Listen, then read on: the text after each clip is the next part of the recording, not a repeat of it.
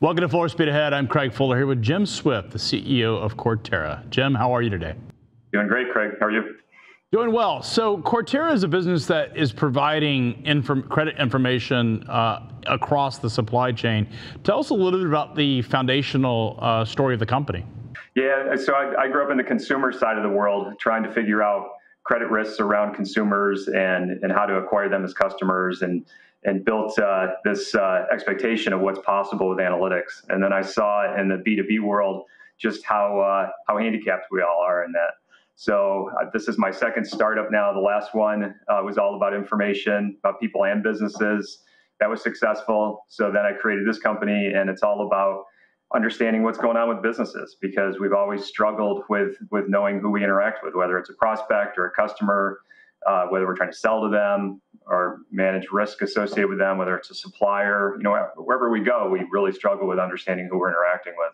So I'm doing something about it now. So you've built a, a database of, of the of supply companies that are involved in supply chain purchasing, uh, shippers as we, we like to call them, uh, and your customers uh, intersect all elements of supply chain, do they not? Yeah, yeah, really. Manufacturers, distributors, retailers, transportation companies uh, and all the other companies that are involved supplying to those types of businesses. You know, you really need to look, they're all moving parts together.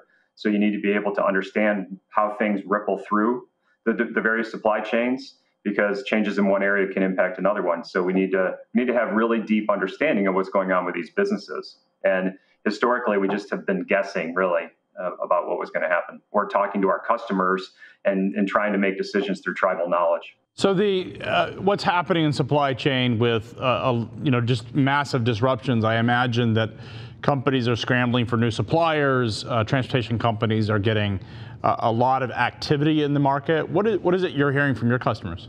Well, we see a lot in our data. You know, we track about 1.7 trillion dollars in spend between businesses in the U.S. There's there's about eight trillion dollars overall in B2B spend in the U.S. We're tracking a huge portion of that.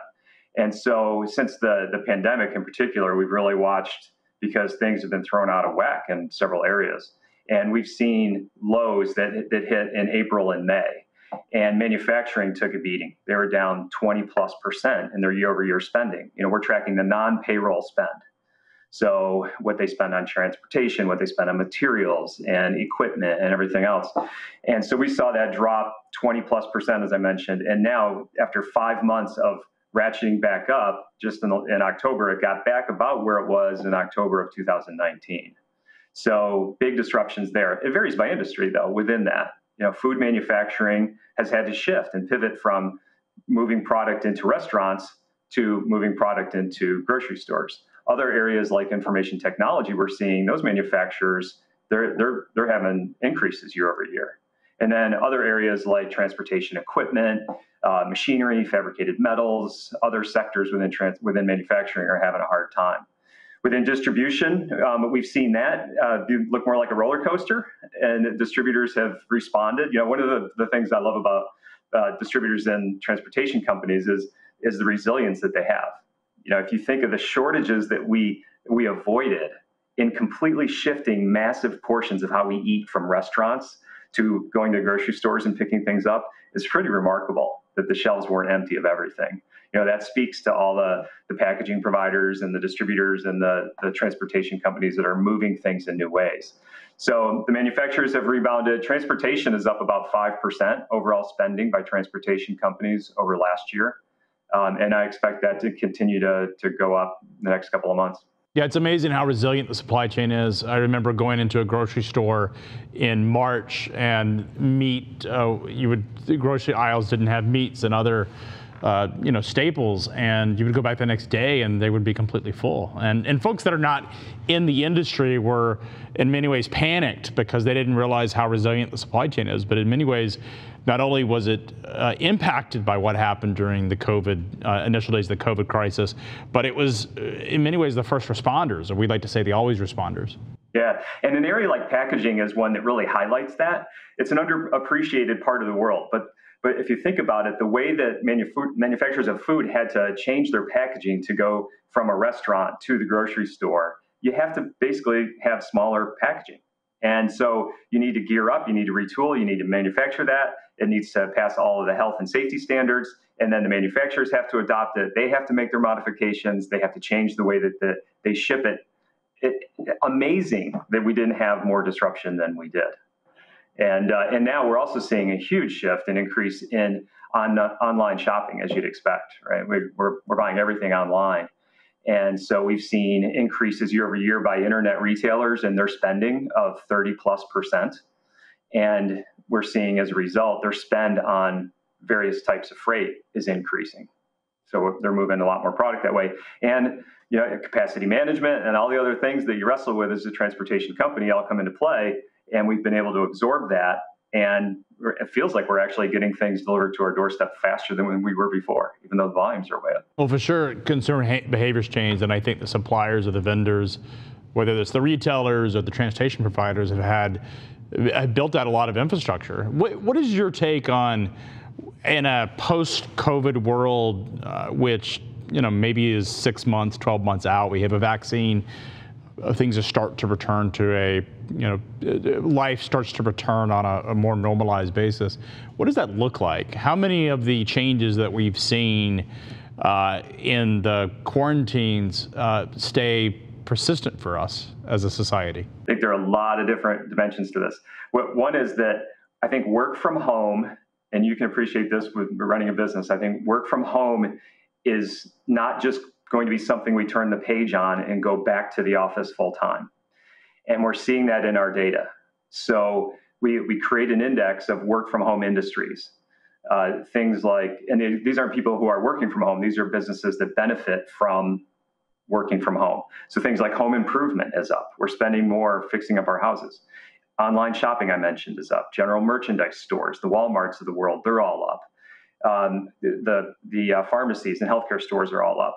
And we're seeing that persist. Computer spending on IT is up and has stayed up. It's been up from 100% to 300% per month for the last five months. I thought that was just going to be a one time blip as we gave everyone laptops and figured out how to get people working from home. But it stayed. And so that tells you that businesses are totally reconfiguring the way that they work. And so are, the way that, that that ripples through the supply chain is also going to be a factor going forward. It's not just going to come back down. In October, those businesses spent 18% more than they did in October of last year. The fact that that's hanging around, even as we have different levels of outbreak and shutdowns and everything, tells me that that's going to be a key ingredient of the new normal. You also see things, though, that are working the other way. So when you look at it, we also have an index of businesses that are tied to reopen. So things like um, anything recreation based, uh, hotels, air travel, restaurants, they were down as much as 37% versus last year in May. They've rebounded now to get close to back to where they were, but that's probably going to come back down this month. You know, we're going to have this this conflict between holidays and increased retail and desire to travel with more outbreak and more shutdowns. And we'll see who wins that. But I expect it'll level off or actually go back down. So I think coming out of this, you know, we're going to have different, as you mentioned, different patterns in the way people buy. I think we're all a lot more likely to buy food online than we were a year ago and a lot of other things online. I think a lot of businesses also have realized that they can change their business model and it's forced them to learn how to execute in an online world. Why would they change? Why would they go back to the way they were doing it before? You know, you can have a, a smaller footprint and you can deliver to more people in more places. And if you have the, the distribution to get it to them and you can do it profitably, it'll stick. So I think, you know, I've, I've been through the 01 recession, the 08 recession. Um, this, this is like coming out of another recession and, and it's forced us to innovate in certain areas. There are a lot of businesses that are failing or have failed. We're seeing that failure rate go way down though, almost approaching last year's levels because I think the weaker businesses got weeded out early. And we're seeing a lot of new businesses being created because you know there's this spirit of innovation and and a lot of um, a, lot of interest in creating new businesses in this country. And so you look around safety and health and distribution and uh, all kinds of things, technology, and all these new opportunities open up. So I think we're going to see a lot of stickiness in uh, in the way that these curves rebound. Air travel won't be the same; they'll be down. Internet shopping will be up and stay up. Be interesting. Is it a regional element? I, I read something last night that said uh, in San Francisco, there's been 130,000 uh, postal requests for changing addresses for people leaving the Bay Area. Uh, are you seeing anything in the data that suggests that there have been sort of regional developments or deurbanization? Is that showing up at all? Or is it hard, is it more from your perspective, the data that you guys track, is it more based on the types of businesses uh, in the economy are the beneficiaries versus uh, the ones that are, are being impacted? We're, we do not see it yet because most of the relocation you see is the employees in businesses as opposed to the companies themselves as the companies relocate more, then we're going to see it show up in our data. We're going to see spend um, and the composition of businesses in different states change. But right now, it's more employees in San Francisco are moving to Colorado because they can telecommute. So you have a product called Zymbles. What exactly is Zymbles and how does it work? How can it benefit folks that are in supply chain? Yeah, one of my big frustrations in the B2B world has been in understanding markets and translating that into effective sales and marketing strategies and then taking it down to execution. Almost every sales team and, and business strategy group still relies on understanding their customer base based on demographic data. What industries are they in, and how big do we think they are? And that data is notoriously inaccurate, and it's just a label. Even if it's right, two businesses of the same size aren't going to behave the same way. One might have a fleet of its own trucks. Another one might use use a logistics firm to move all their all their product. You can't tell that. We've always had huge blind spots in the way that we understand markets and figure out where do we want to play, where are we winning. And we used to call it lookalikes. You know, analytics was always about lookalikes. These are these are my best customers. I want to find more lookalikes like them. Mm-hmm. And so Zymbles is is kind of the next generation of that. It's short for resembles. But the idea is how can we take all this information that we have about businesses and apply the AI and machine learning on top of it so that we can help people? Because, you know, people don't, and businesses don't have the skill sets. They don't have PhD scientists to go and try to figure out what to do with more data. So it's about how do we go take the world beyond the demographic data that has that's just labels and it's wrong most of the time and really have more intelligence about where things are going, you know, and with COVID, you see the need for that because uh, all of a sudden the need to move computer equipment went through the roof. And you can see in our data how much air freight, air cargo capitalized on that.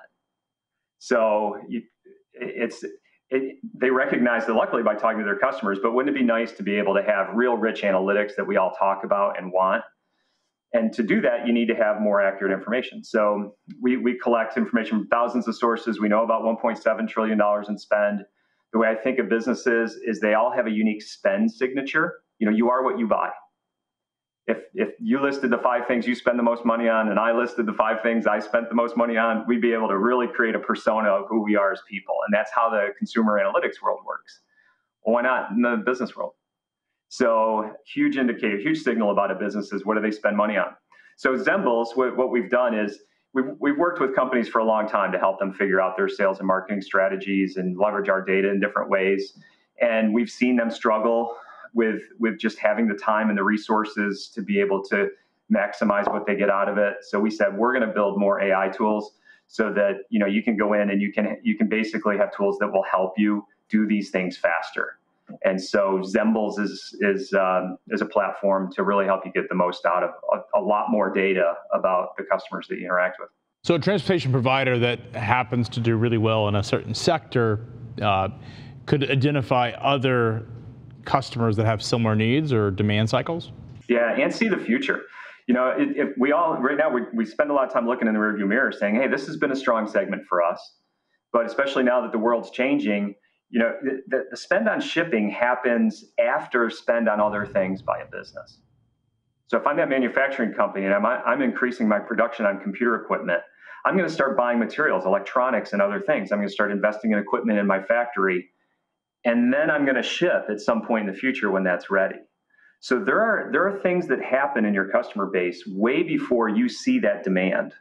So the ability to forecast the demand and and change your pricing or mobilize your sales teams in different ways or your marketing efforts, you know, it, it, it's time that we had more tools to be able to look and see what's going to happen in the future. So, what do you think uh, next year, moving into next year? Do you think the economy stays strong, or is your uh, what you guys are seeing in your data, does it suggest that uh, the recovery will continue? Um, what is the outlook? And I know there's a lot of risk in that outlook because what's happened in 2020 blew up every single model, uh, at least what happened from March on. Uh, but what is your forecast uh, looking at uh, next year and beyond in terms of economic activity and recovery? So, the, from a big picture, what we've seen is that overall spending on non payroll by businesses has gotten back to last year's levels. 60% of the industries are below, but the 40% that are gainers are offsetting those losses. So overall, we're kind of back to the Mendoza line of where we were. But jobs haven't returned to the same level. So I think you're seeing a cautiousness where companies are stronger, getting stronger, but they're obviously going to be reluctant to hire because it's harder if, if there's a blip in the economy to deal with that. So that's a good sign. We've been watching manufacturing really closely because if we don't have manufacturing production going up, there's less to move, there's less to buy, there's less demand. All those things are working together. And so we've seen, as I mentioned, manufacturing go from down 20 plus percent back to about where it was last year. Transportation's up 5%. Retail overall is up about 13%, even though some industries like restaurants are getting hammered. So I think we're going to continue to see more of that. The fact that business closures are, are down, the fact that overall spending is back, um, the hiring will lag. It'll come back, but we, we think that the, the, it's going to be good and continue to improve. And the key one to watch is manufacturing.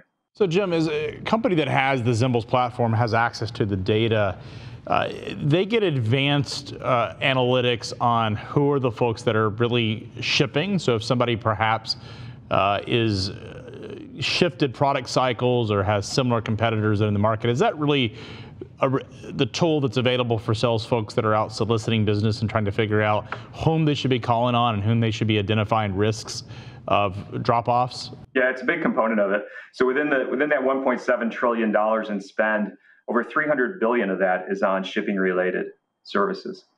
And some of it's fleet related, so you can that's part of understanding your customers. Do they have a fleet or are they not your customer because they have a fleet? Or you know, how does that work? And and some are carrier based um, but that's over $300 billion of that. So that's great. That, that's a huge portion of it. You can really understand, you can qualify and segment and understand by industry and all kinds of different slices of, of the data. Uh, but then you can also look at the other related spends that are part of that spend signature for your customers and understand maybe why that's happening. You know, and that can that, that can help you again capacity planning, prioritization of of the segments that you're going after. But yeah, we know a lot about the shipping industry. We've that's where we started you know, when I started this 14 years ago, it was in the transportation industry. And we've expanded into the other parts of the supply chain since then. And where, where are the most of your, if you broke down your customer base, what are the typical customers that are taking advantage of the Zymbles platform? Um, it's a mix. It's everybody through the through the space. Really, it's uh, it's equipment leasing companies, it's fuel card and fuel service providers, it's carriers, it's logistics companies. Um, it's pretty much everybody at this point. And then um, a lot of our customers are distributors.